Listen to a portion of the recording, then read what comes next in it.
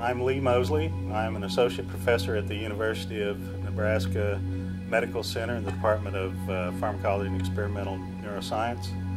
Um, I received my bachelor's and master's degree from the University of Oklahoma in microbiology. I went to the University of Tulsa and got my PhD in immunology and postdoc at the uh, University of Michigan. Um, our research addresses the role of the immune system in Parkinson's disease, how the immune system affects Parkinson's disease. We find that in Parkinson's disease that the inflammatory response uh, plays a significant role in progression of the disease.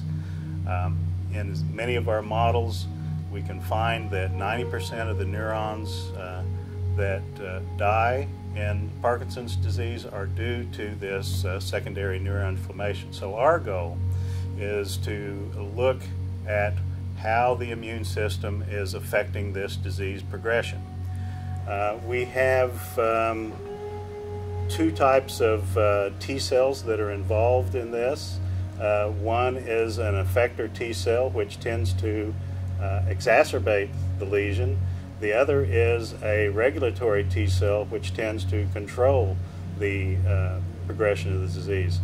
So, for as to the latter, we're actually looking at ways that we can boost that uh, regulatory response and and quell the neuroinflammation. We're doing this via a vaccine approach or immunotherapeutic approach such that we can either boost the activity of these regulatory T cells or uh, increase their number such that they will uh, diminish the progression of the disease. The other uh, branch that we're looking at is looking at how this effector T cell population will um, increase or exacerbate the progression of the disease. And this is the crux of uh, most of my uh, current research uh, that I'm doing. So graduate students uh, play a very unique role in this process. Um, graduate students uh, offer us a fresh perspective when they come into the lab. They basically come in as an empty vessel. Um, they come in with not very much experience in the way that uh, people do science. They've had uh, some science courses, some laboratory courses uh, in their uh, training. Um, what we find is that after about a year, they really begin to start taking on uh, the laboratory routine. They start to know how science is done and how to address science.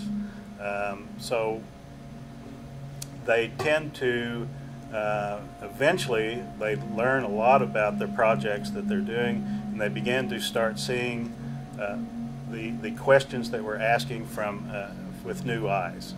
So they bring to us eventually a uh, fresh perspective by which we can actually look at different questions. They learn how to troubleshoot these uh, uh, experiments that they're doing. They learn how to expand Uh, the experiments that, from what uh, the uh, principal investigators have laid out.